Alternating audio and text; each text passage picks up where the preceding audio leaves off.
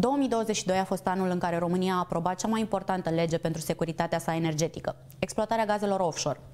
Aceste zăcăminte din largul Mării Negre sunt vitale pentru viitorul României, iar evoluția acestei industrii va decide cum va arăta economia românească, dar și nivelul de trai al populației în următoarele decenii. Zăcămintele exploatate astăzi mai pot asigura consumul României pentru cel mult 8 ani. Gazele offshore, în schimb, pot tripla această perioadă.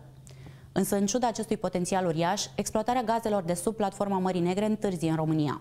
Legea care permite extragerea și aducerea lor pe uscat în rețeaua națională de distribuție a gazelor naturale a fost tergiversată atât de mult timp încât un investitor strategic, gigantul american Exxon, a renunțat la proiectul pe care îl avea aici.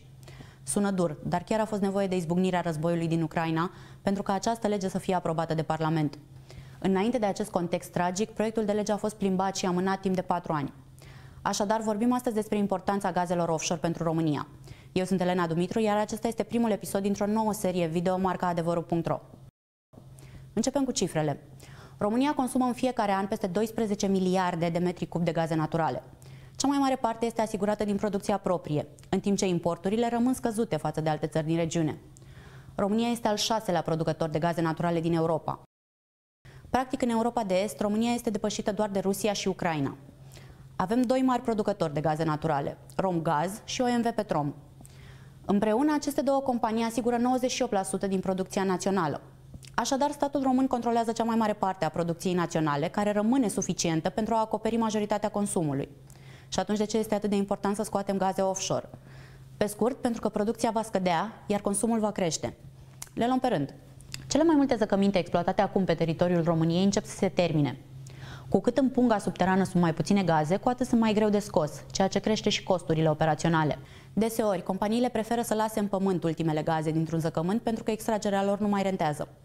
În paralel cu secarea zăcămintelor actuale, consumul național va crește. Sute de localități în care oamenii erau nevoiți să folosească butelii au fost branșate și vor începe să consume gaze naturale din rețea. Pe baza acestor doi factori, adică producția și consumul din prezent, calculele arată că România mai are gaze naturale pentru 8 ani. Să nu ne imaginăm însă că se vor termina dintr-o dată. În acest interval, producția va scădea treptat, timp în care importurile vor crește. Această tendință a început deja în ultimii ani, iar importurile au devenit tot mai mari. Până în 2018, ele acopereau în jur de 10% din consum. De atunci, volumul gazelor importate de România a urcat constant. De aceea, gazele offshore reprezintă o miză de importanță strategică națională. Rezervele de aici se ridică la aproximativ 200 de miliarde de metri cubi, adică ar putea acoperi consumul actual timp de 16 ani. Specialiștii explică însă că zăcămintele reale ar putea fi mult mai însemnate decât ce știm azi. Platforma continentală a României din Marea Neagră este împărțită în 9 perimetre energetice. Nu toate au fost însă explorate, în primul rând din cauza costurilor uriașe ale acestor operațiuni. Atunci când o companie obține concesiunea pentru un astfel de perimetru, trebuie mai întâi să facă operațiuni de explorare pentru a determina dacă acolo există sau nu resurse adică să aducă o platformă marină care să sondeze perimetrul din loc în loc și la diferite adâncimi pentru a vedea dacă găsește gaze. Aceste operațiuni extrem de costisitoare nu se termină nici măcar când sunt găsite gazele. Pentru a putea calcula ce volum există în zăcământul de sub apă, sondarea trebuie să continue până când sunt stabilite limitele și dimensiunile pungii de gaz. Nici o companie nu începe să extragă gazele fără a avea toate aceste date, pentru că ar risca să nu-și recupereze investiția dacă zăcământul nu e suficient. Să luăm exemplu perimetrului Neptune Deep. Este cel mai mare perimetru offshore al României și ascunde cel puțin 100 de miliarde de metri cub de gaze naturale. Consumul nostru pe 8 ani. A fost concesionat inițial în anul 2000 către o companie franceză, iar din 2008 concesiunea a fost preluată de gigantul american ExxonMobil în parteneriat cu OMV Petrom. În 2021, Exxon și-a vândut jumătatea sa de proiect către statul român, care i-a achitat un miliard de dolari, adică bani pe care compania a demonstrat că i-a cheltuit pentru explorarea perimetrului. Din aceste operațiuni știm astăzi că Neptune Deep ascunde cel puțin 100 de miliarde de metri cub de gaze.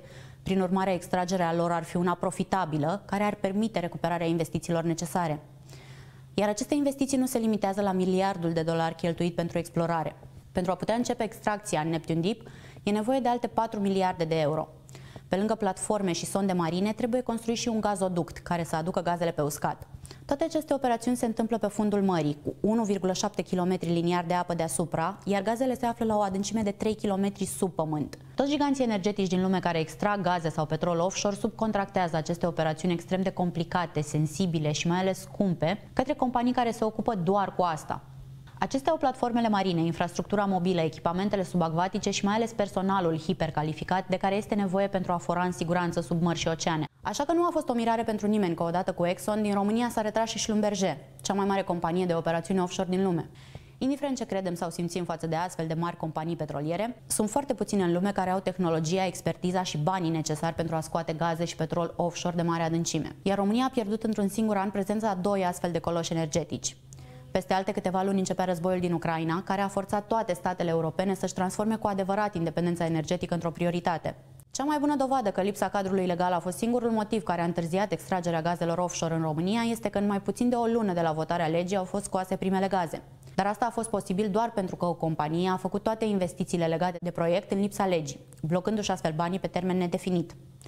A fost singura companie care și-a asumat acest risc, în timp ce toate celelalte au renunțat la proiecte. Se numește Black Sea Oil and Gas sau BSOG și este deținută de Fondul American de Investiții Carlyle, unul dintre cele mai mari din lume, în parteneria cu Banca Europeană pentru Reconstrucție și Dezvoltare. Perimetrul din care BSOG a scos primele gaze offshore în luna iunie 2022 se numește Media, însă perimetrul Media este de mică adâncime sau shallow, Adâncimea sa nu depășește 70 de metri, iar gazoductul subacvatic, care aduce gazele pe uscat, are o lungime de doar 18 km.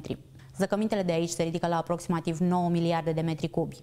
Scăderea producției în zăcămintele actuale nu este o prognoză sau previziune, e matematică. La fel și creșterea consumului. Iar asta se întâmplă pe cea mai distorsionată piață energetică din istorie. Perioadele de carantină din 2020 au cauzat cea mai abruptă scădere a consumului de energie văzută vreodată fie că vorbim de gaze naturale, petrol, cărbune, resurse fără de care lumea s-ar opri în loc. Această criză fără precedent încă se reflectă în prețuri. Suprapunerea acestei perioade complet atipice peste războiul din Ucraina nu avea cum să nu producă o furtună perfectă în energie. Uniunea Europeană este cel mai mare importator de gaze naturale din lume, iar Rusia era principalul său furnizor. Goana după gaze de import s-a mutat acum din gazoducte în tanchiere de gaze naturale lichefiate, care au înlocuit gazul rusesc în Europa dar despre asta vorbim în episodul următor.